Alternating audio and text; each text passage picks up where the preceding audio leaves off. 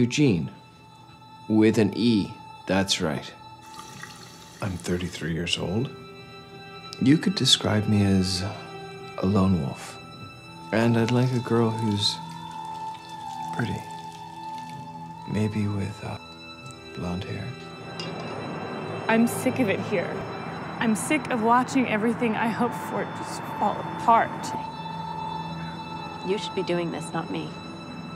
I know, I, I will when I can make enough money. I was letting some old man suck my balls so I get the money I need to pay half the bills for your apartment.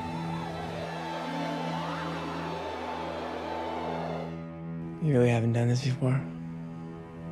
No. Sure, I bet. Do you want to hang out with us? I'm Heather. Eugene. That girl you were with, that's your girlfriend, right? Have you fooled around with two people, Eugene? I think he's watching us. So Let him watch if he wants.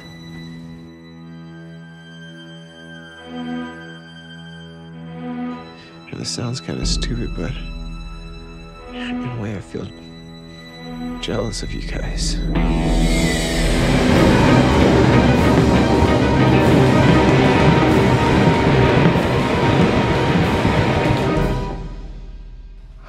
Eugene. Panchitos for lunch? I love that place.